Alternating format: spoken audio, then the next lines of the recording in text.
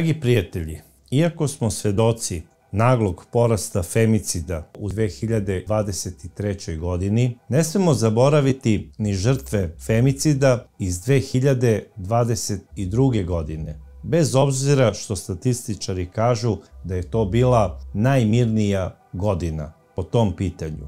I te žene moraju biti spomenute i nikad ne smeju biti zaboravljene. Jedna od njih je Izumreta Eminović.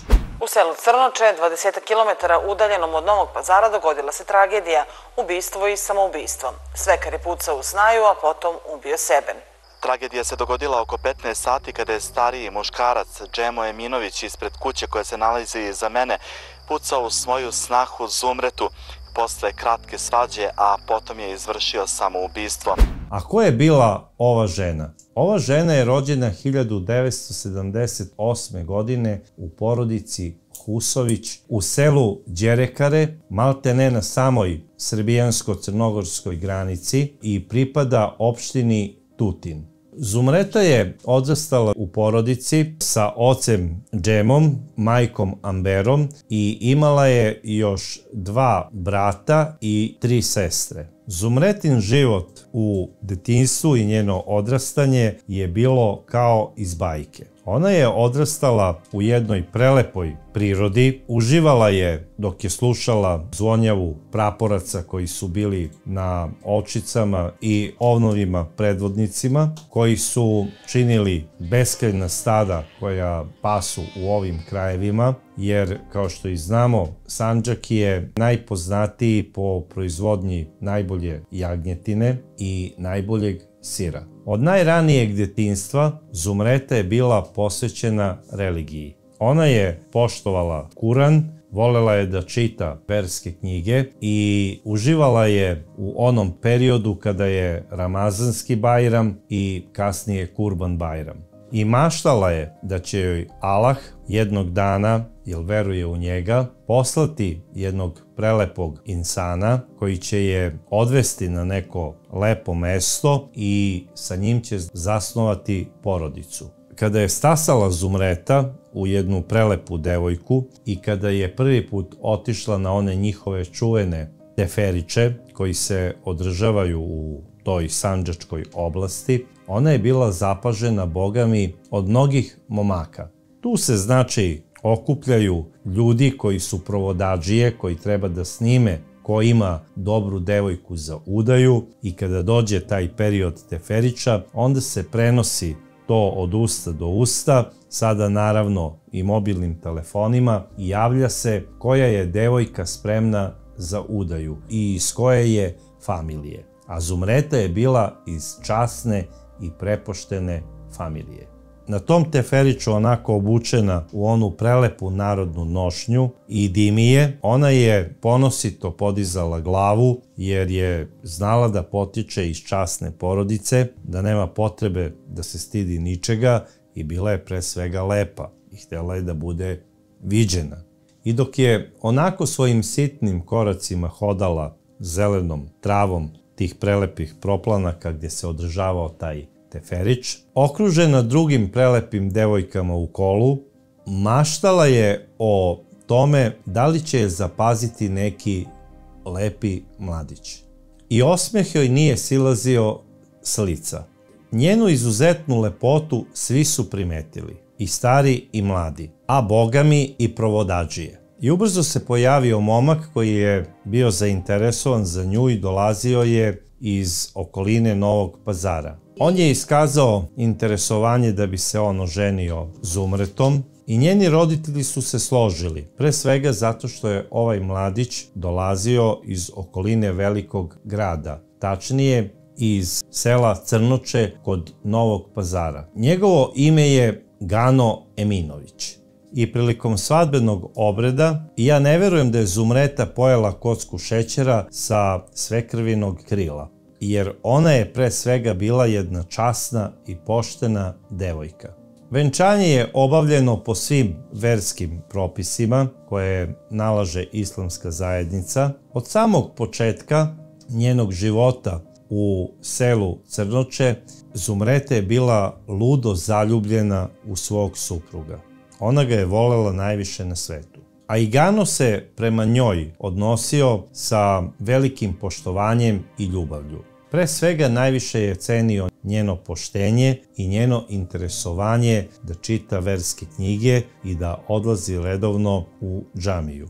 A posebno je cenio njenu lepotu i njen način oblačenja zato što islamska vera nalaže da čovek treba da bude lep zbog Allaha, odnosno Allahu lep ne sme biti neuredan, zapušten, već naprotiv mora uvek da bude u čistom odelu, da bude pedantan i pristojno odeven i da se pritom pristojno i ponaša. Zumreta je odmah od samog početka tela da se pokaže kao prava domaćica i sve ono što je naučila u svojoj kući, ona je htela ovde da pokaže na delu. I bila je pravi majstor u pravljenju onih čuvenih pazarskih mantija. Njene pite su bile tako dobre i savršene da su se prosto topile u ustima ljudi koji ih jedu. To je bila prava fantazija, malte ne kao da ste otišli u one čuvene poslastičarnice na Kapali čaršiji u Istanbulu.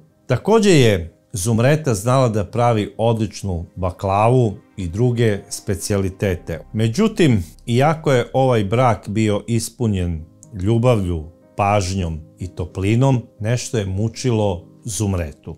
Naime, već nekoliko godina kako je sa svojim voljenim Ganom u braku, a dece nisu imali. I ona je duboko patila zbog toga.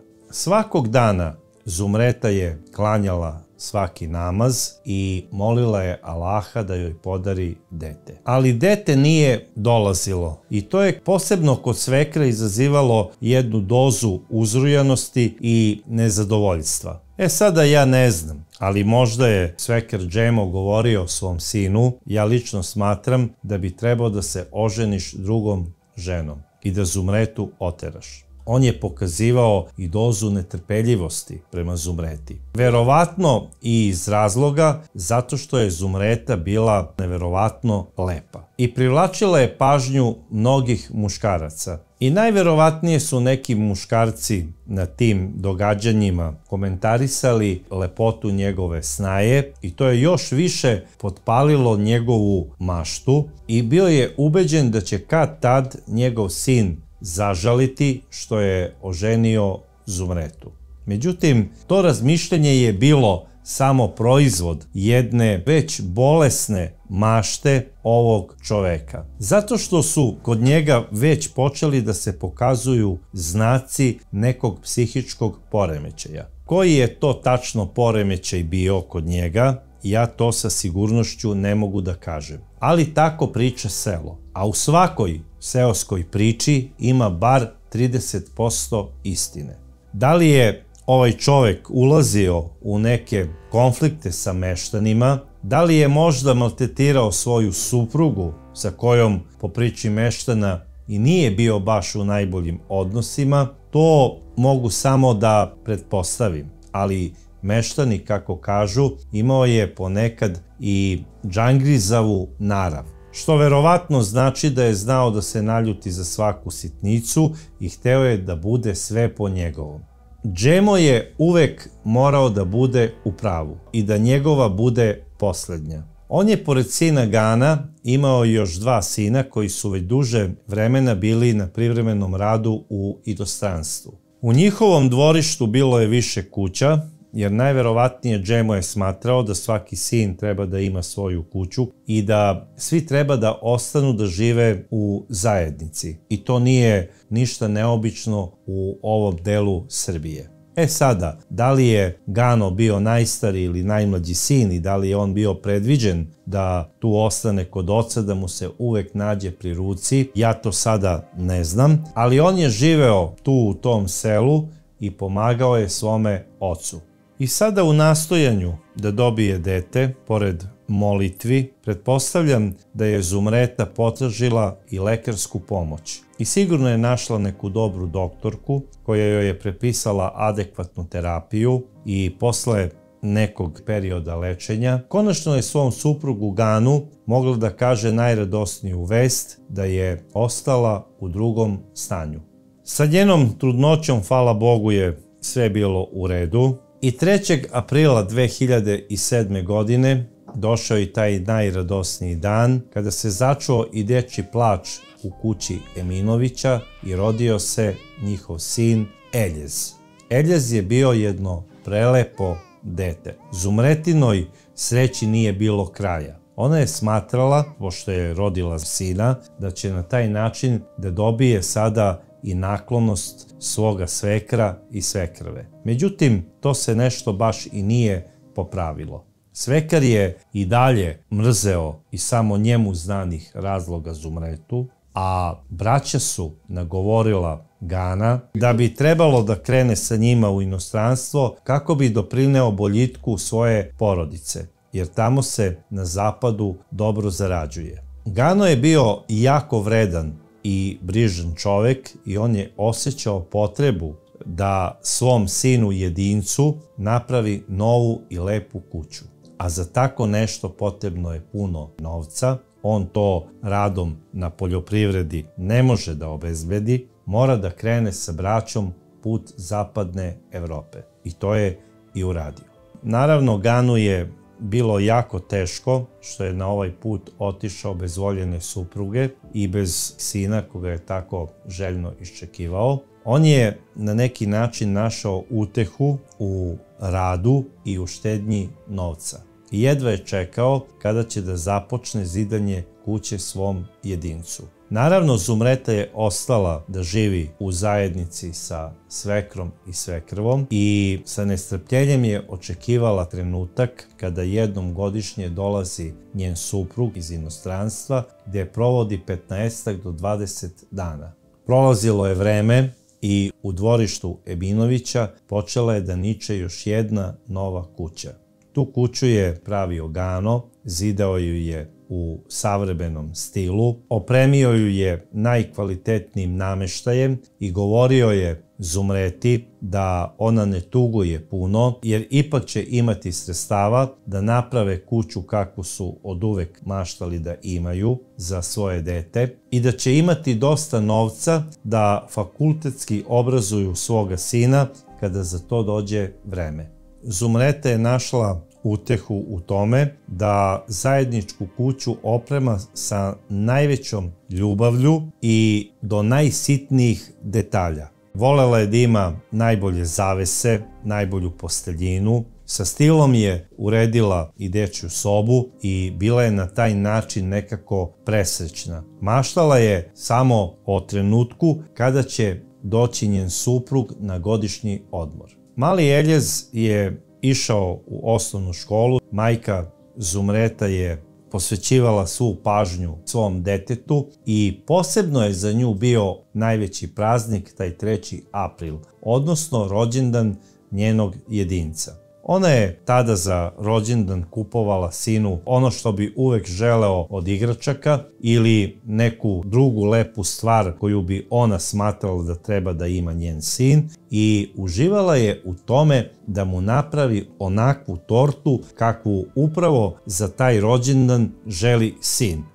Nekada je to bila slika futbolske lopte ili omiljenog automobila, ali sve ono što je njenog sina zanimalo, ona bi stavila kao dekoraciju na tim tortama. Zato što je bila pravi majstor za pravljenje slatkiša, kao što sam već jednom i napomenuo. Naravno, otac Gano se uvek trudio da bude prisutan na sinovljevom rođendanu, ali ako ne bi mogao da uzme slobodan dan i da dođe, on bi poslao novac da Zumreta ima dovoljno da ostvari sve želje njihovog voljenog jedinca. I vreme je prolazilo, Eljez je već došao i do osmog razreda i uveliko je počeo da se priprema za maturski ispit. U tim njegovim aktivnostima malte ne prošao je i ceo maj. Majka Zumreta je vredno sa njim vežbala testove, bila je posvećena apsolutno svom sinu, prestala je da bude prisutna toliko i na društvenim mrežama, gdje je ranije bila redovno prisutna, pratila je sve aktivnosti ne samo kulturne i ne samo one koje su je zanimale iz kulinarstva, pratila je ona aktivnosti i islamske verske zajednice u Sanđaku, pratila je i političko angažovanje njene omiljene stranke Pravde i pomirenja, na čijem je čelu nekada naravno bio Muamer Zukorlić, naš voljeni muftija, čiji gubitak Srbija nikada neće preboleti, i koji je mnoge od nas doveo do toga da prosto nećemo imati za koga da glasamo na nekim budućim izborima. A Zumreta je razmišljala da li da njen sin upiše srednju školu u pazaru ili možda u inostranstvu. A zašto u inostranstvu? Zato što je već počela da razmišlja kako bi bilo najbolje da i ona sa detetom ode put zapadne Evrope. Ne zato što se njoj Novi Pazar nije dopadao, već stalne raspravke i svađe sa svekrom postale su joj nepodnošljive. E sada, da li se ona žalila mužu Ganu i do detalja pričala o tim svađama i raspravama, ja sa sigurnošću to sada ne znam, ali ona je imala velikih problema sa svekrom džemom i on je u napadu tih histerija znao da je i tera od kuće. Da kaže, izađite napolje iz mog dvorišta i idite tamo odakle ste došli. Ponašao se vrlo čudno, doduše imao je on i zdravstvenih problema, ali ono što ja znam, on je imao operaciju arterije, imao je znači kardiovaskularnih problema, a za ove psihičke za koje svi kažu da ih je imao, ja ne znam da li je posećivao neuropsihijatra. Džebo je imao tu operaciju arterije i kada se vratio posle te operacije u svoje selo Crnoče, kako ide red, dolazili su mnogi njegovi prijatelji iz sela da ga obiđu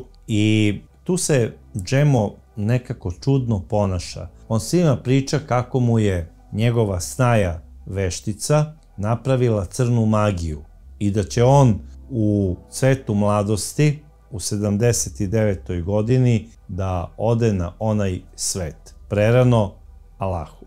Ljudi su ga gledali u čudu i pitali, Džemo, ma o čemu ti to pričaš?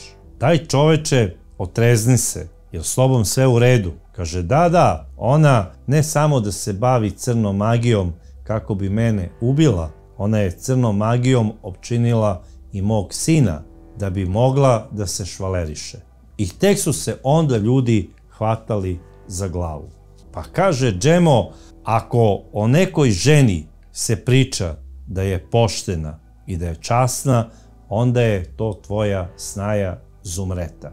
Međutim, to nije dopiralo do njegovog mozga. Džemo je bio ubeđen da je ona nekim svojim magijskim radnjama opčinila i te ljude. Zapravo, on se sa svima posvađao, počeo je da se svađa i da im dokazuje kako je njegova snaja veštica i da se bavi crnom magijom. Naravno, posvađao se i sa svojom suprugom. Ona je počela sama da odlazi u polje i na njive, gde je obrađivala zemlju, ne samo zato što su se tog dana posvađali ona i Džemo, nego da bi ga i zaštitila jer čovek je bio na operaciji, on sada ne može da radi teške fizičke poslove. Čak i za tu ženu Džemo je postao naporan i težak. I Džemo je primetio da njegova žena malte ne jedva čeka ujutru da ode na posao i da dolazi što kasnije. Naravno, ona je to radila kako bi izbegla džemine raspravke, glupe pretpostavke i obaveznu svađu. A on je počeo da je optužuje da je ona počela da šuruje sa snajom Zumretom i da su obe veštice. I dok je sada supruga negde na nekom poslu tamo na imanju, on bi znao da sretne svoju snaju Zumretu u dvorištu i da započne svađu. Sram te bilo dok ti je muž na privremenom radu u inostranstvu, ti dobijaš uredno novac, umesto da daješ meni da ja rukovodim naučanikom kakav je red, ti to koristiš da bi izdržavala svoje švalere, a treba da te sramota i od sina koji je već veliki jer počeće deca da ga zezaju u školi. Zamislite šta je ovaj čovek sve u svojoj glavi umislio. I naravno Zumreta je počela da mu i odgovara na te optužbe. I tu su se nekad dešavale u dvorištu baš onako bučne svađe, koje je čuo ceo komšilu. I to je počelo da se ponavlja iz dana u dan. I dok se sada dete sprema za maturski ispit i za upis srednje škole, dok Zumreta razmišlja da li da ostaju tu ili da idu put zapadne Evrope, došao je kobni 30. maj 2022. godine. Dok je dete bilo u školi, a svekrva na njivi, negde oko 15 časova u dvorištu Eminovića nastala je velika svađa bučnija i oštrija nego one prethodne koje su bile uobičajene. Čula se tu i neka psovka i pogrdna reč koju je izgovarao Džemo. Zumreta to više nije mogla da trpi i onako u besu reklamuje da će sada da javi njegovom sinu šta joj je on sada rekao i da će tražiti od njega da podhitno dođe i da odvede i nju i dete put zapadne Evrope. Tu je Džemo eksplodirao. Rekao je da će on to sve rešiti. Tu svađu su čule mnoge komšije, a ubrzo posle tih reči komšije su nažalost čule i prvi pucanj. A onda drugi, pa i treći.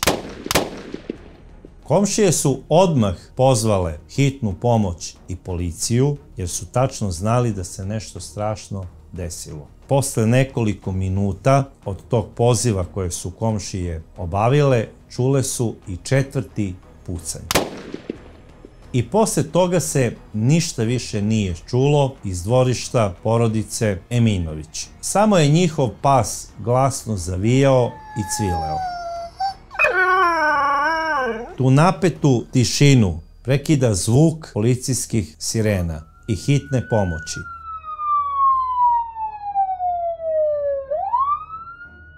Odmah po dolasku naišli su na tela nesečne izumrete i njenog svekra Džema. Pored njega je bio i pištolj. Hitna pomoć je nažalost samo mogla da konstatuje smrt. Na uviđaju je policija ustanovila da je Džemo ubio Zumretu sa tri hica iz pištolja, a da je 15 metara od njenog tela izvršio samoubistvo isto hicem iz pištolja. Dok je trajao uviđaj, komšije su se najviše plašile da će mali u tom trenutku naići iz škole i da će videti telo svoje mrtve majke. Međutim, uviđaj je završen i telo nesečne žene je odveženo na obdukciju za pazar. Naravno i telo mrtvog žema je odvezeno na obdukciju. Došao je i suprug Gano iz inostranstva. Gano je u dogovoru sa svojim tastom Džemom dogovorio da Zumreta bude sahranjena u svom rodnom mestu i to pored svoje pokojne majke Ambere koja je umrla 2020. godine. Porodice su se složile oko toga jer njen otac Džemo nije želeo da njegovo dete počiva na istom mezarju sa svojim ubicom, odnosno njenim bezdušnim svekrom Džemom, koji je uzeo njen život u 44. godini. Ovaj čovek je sebi presudio u 79. godini. Navodno je imao i psihičkih problema. Ja ne znam kako je to neko ustanovio, i ne znam da li je ovaj čovek bio pacijent neke psihijatrije ili je selo po nekom njegovom čudnom ponašanju došlo do zaključka da nešto nije u redu sa njegovim mozgom. Ovaj čovek je imao vatreno oružje. I nije ništa neobično da ljudi koji žive u tim krajevima i koji uzgajaju stoku, braneći se recimo od vukova, imaju puške, ali pištolj Pištolj je isključivo napravljen da bi ubio čoveka.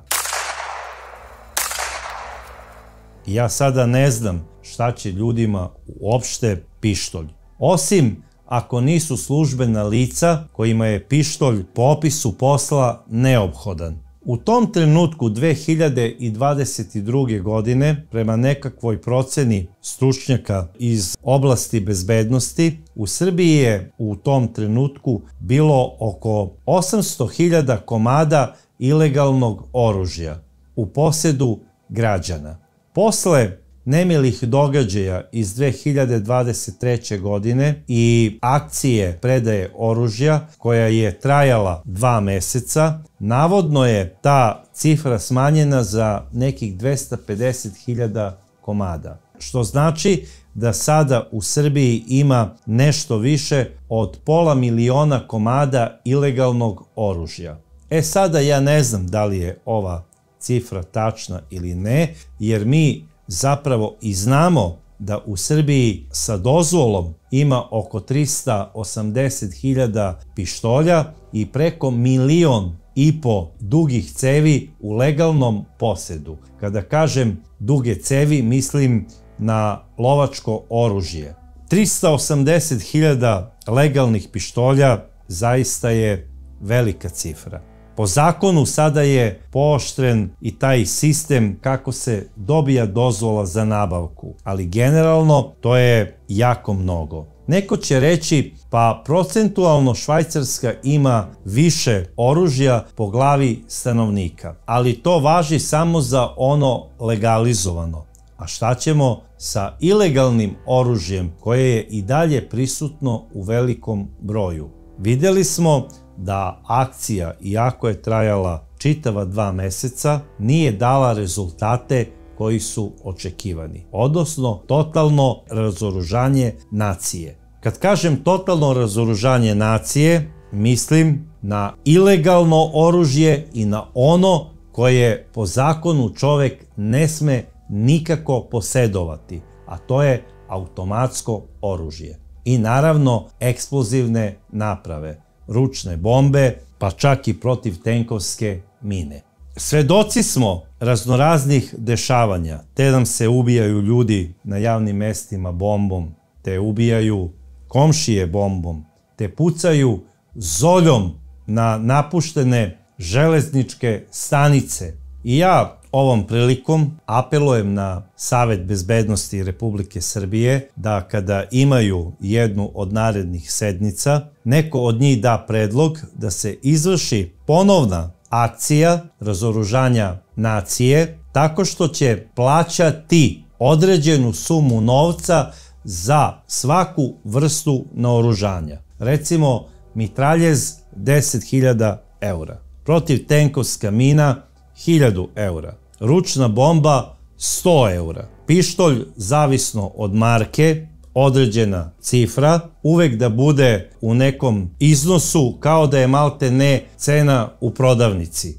To je jedini način po meni da se prikupi što veća količina oružja. A posle te akcije, ako pronađu kod nekog čoveka, recimo mitraljez, ili bombu, treba da mu podnesu krivičnu prijavu za terorizam i da bude najstrože kažnjen. Šta će čoveku recimo protiv tenkovska mina ili mitraljez ili ručni raketni bacač ako ne sprema neku terorističku akciju? Jer mi smo jedna barutana kojoj uvek fali samo jedna varnica koja može dovesti do eksplozije i katastrofe, nesagledivih razmera. Zato ovaj moj predlog ne treba shvatiti sa nekom dozom ismevanja, već krajnje ozbiljno. Narod koji živi u Republici Srbiji neće iz principa ništa dati nikome za džabe. Zato ga treba motivisati na ovaj način. Ja ne znam da li je iko ikada dao ovakav predlog, ali evo ja ga dajem. I pošto znam da određene službe prate ovaj kanal, neka ga prenesu svojim pretpostavljenim. Hvala. E sada, posle ovog predloga, da se vratimo u Pazar, tačnije u selo Crnoče i da razmotrimo šta je zapravo moglo da se preduzme da se ne desi ovaj zločin.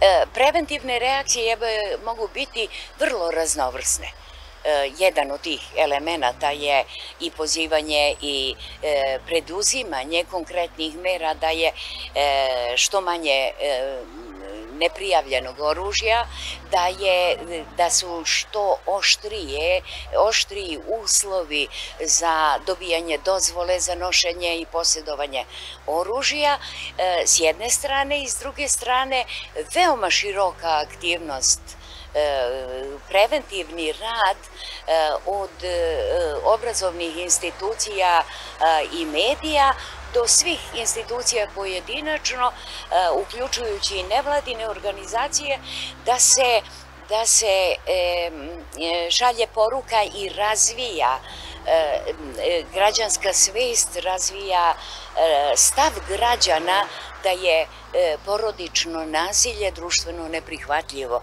i da je, da je zakonom sankcionisano i da se kad sud donese presudu mediji zainteresuju za tu presudu.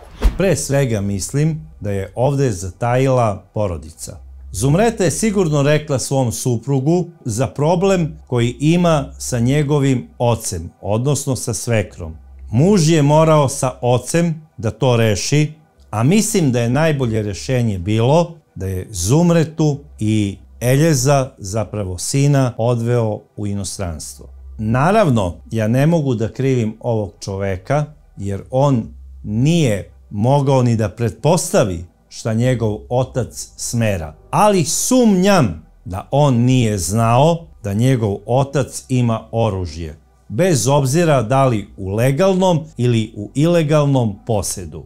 Zato je trebao da preduzme ozbiljne radnje da zaštiti svoju suprugu, a i sina. I trebalo je da prijavi svog oca policiji, a da suprugu i dete vodi sa sobom, tamo gde i zarađuje svoj hleb nasušni. I posle ovog događaja u selu i u okolini nastale su razne teorije zašto je Džemo ubio svoju snaju. Međutim, ja sada ne bih hteo da ulazim u tu tematiku i u njegove motive. Generalno, on je ovim izvršio još jedan femicid koji se desio u 2022. godini. Još jedna žena žrtva E, porodičnog nasilja. Nadala sam se da ovakvih situacija nećemo imati u Novom pazaru i njegovoj okolini. I jedno dete je ostalo bez svoje majke.